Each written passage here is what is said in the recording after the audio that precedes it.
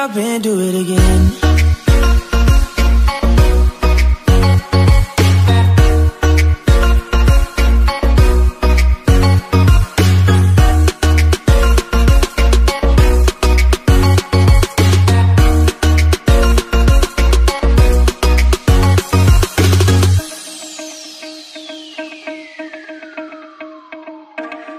We got this bottle of champagne to ourselves.